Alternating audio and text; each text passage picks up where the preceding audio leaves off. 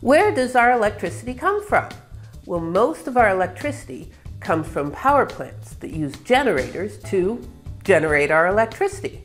How do the generators create electricity? Well, they spin electromagnets near coils of wire. Wait, how does that work? And how did anyone figure that out in the first place? Well, I'll tell you in the video. Ready? Let's go. Electricity, electricity, electricity, electricity. It all started in 1832. That's when Michael Faraday wrote a paper about the many ways to create or induce electricity with magnets. Faraday wrote that moving a magnet into or out of a coil would create bursts of current, and spinning a copper disc near a magnet made a constant but very weak current. A French instrument maker with the nearly unpronounceable name of Hippolyte Pixii read Faraday's paper and combined their features into one single machine, where he spun a U-shaped magnet near coils of wire. When Pixii spun the magnet, an interesting thing occurred. The current would go one way, and then half a turn later, the current would swing back the other way. By spinning the magnet faster, he could get more current, but also make the current swing back and forth faster. Pixii created alternating current, or AC. Now, at the time, that seemed like a negative result. He went to France's leading electrician, a man named Andre Ampere, who suggested he could fix this problem with a funny device we call a commutator. The commutator had brushes that connected to the coils, so that sometimes the wires were connected one way, and sometimes they were connected the opposite way. The result of all this is that it changed the alternating current into a current that pulsed, but only went in one direction. Even with the commutator, this generator was not useful for telegraphs as the signal was too bouncy. Poor Pixii died in an accident two years later at age 26, and as far as we know, never made a dime off his invention. Not much of importance happened for another 16 years, until a Brussels professor named Floris Nollet made a generator with more and more coils, eventually creating a behemoth machine with 40 magnets and 16 coils that he called the Alliance, that could produce around 50 volts of potential. At the time, the only electrical lamp was called an arc lamp and was made with creating a very bright spark between carbon rods. The Alliance machine would light up an arc lamp, but it was not practical for commercial use because the commutator would spark and break with all those brushes rubbing against the rapidly spinning machine. After seven years, and basically as a random act of frustration, they tried using it without the commutator at all. They found to their shock that the alternating current would light up an arc lamp. This was the first instance of using the current that went back and forth, alternating or AC instead of forcing the current to be in one direction, direct current or DC. This was the first use of AC to create light. The most important invention in generators happened around this time, and it has to do with the electromagnet. Way back in 1831, an American scientist named Joseph Henry experimentally demonstrated that you can make the strongest magnet per weight with a simple battery by wrapping insulated wire tightly around a metal core and putting current in that wire. In the 1850s, two men said they independently thought of using electromagnets in their generator. Samuel Varley was a 35 year old English telegraph operator and disciple of Michael Faraday, who had been playing with generators for fun on his own since he was 17 years old. In 1856, he invented a generator with electromagnets, although it took him 10 years to file for a patent. Varley might have been the first, but he was mostly ignored as he was not well connected and he had a bitter falling out with his older brother Cromwell Varley, who was well connected and apparently worked to obscure his younger brother's accomplishments. Another Englishman named Henry Wilde was well connected, and his siblings didn't work against him. In 1864, he wrote about how he used electromagnets to create a generator also why he thought of it. Wilde stated that since electromagnets demonstrated that electricity could produce a very strong magnet, and generators demonstrated that magnets and spinning could produce a lot of electricity, it seemed logical to basically nestle these effects.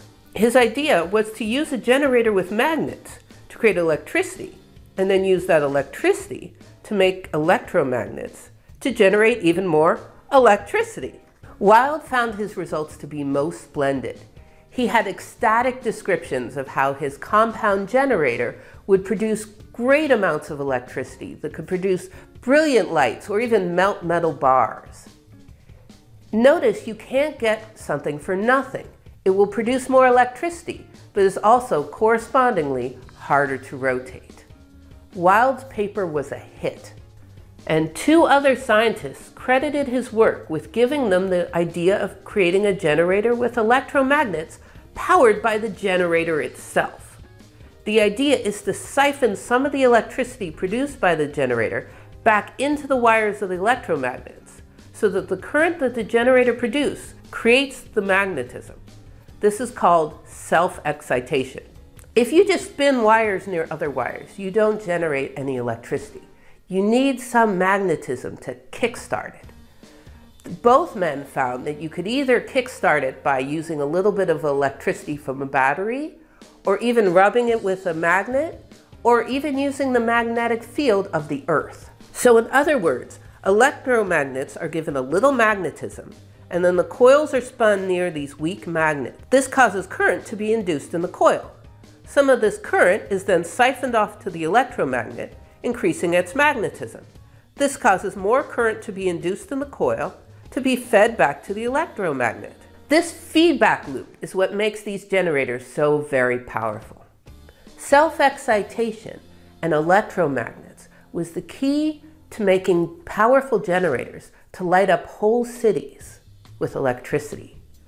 One of the men to discover self-excitation in 1866 was a German scientist named Werner von Siemens. Siemens had started a company 20 years earlier called Siemens and Halske to manufacture long-distance telegraph lines in Germany. Siemens became the first company to manufacture self-excited generators, which they called dynamos, for the Greek word for power, dynamis, a name used for most DC generators for the next 50 years. Just to give credit where it was due, Samuel Varley, the guy with the pissed off brother, discovered self-excitation in the 1850s and even patented it before either Siemens or the other scientist Wheatstone wrote about it. However, he was mostly ignored by the scientific community at the time. With dynamos, suddenly companies were springing up all over to produce electricity, to light up cities and even homes. However, most people used a com commutator to make pulse DC current instead of AC current. Why? Well, there was the mistaken belief that AC was more dangerous than DC. Also, you couldn't use self-excitation with the AC because the electromagnets needed direct current. So you needed a side exciter like Wilde used. Siemens himself said that, quote, nothing whatsoever in alternating current. It is pure humbug. In the late 1800s, there were only a few brave visionaries who wanted to use AC. One of those visionaries was named Nikola Tesla. In 1887, Tesla invented what is called a multi-phase AC generator and a corresponding multi-phase AC motor.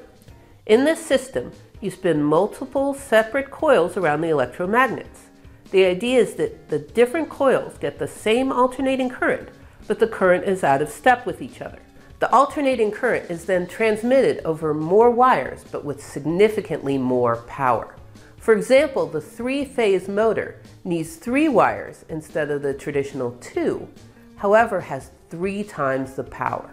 In addition, multi-phase current can be used to make stronger motors, as each coil pushes the motor at different phases. For that reason, we use three-phase generators in our power plants today.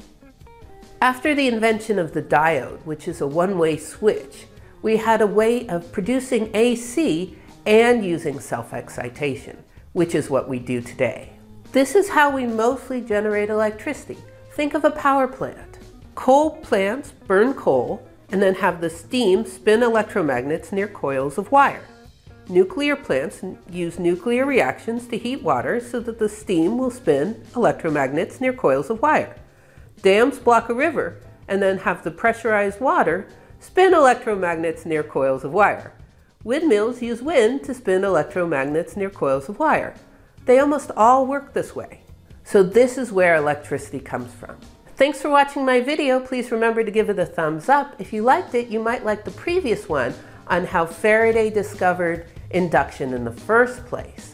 I will also make a video about Edison and Tesla and Westinghouse and the whole fight over AC and DC. But first I want to tell you one of my favorite stories in the history of electricity, the invention of the telephone. It's a story about a shy teacher for deaf students and how his love of his deaf student inspired him to invent the telephone. That story is next time on The Secret History of Electricity. Electricity, electricity, electricity.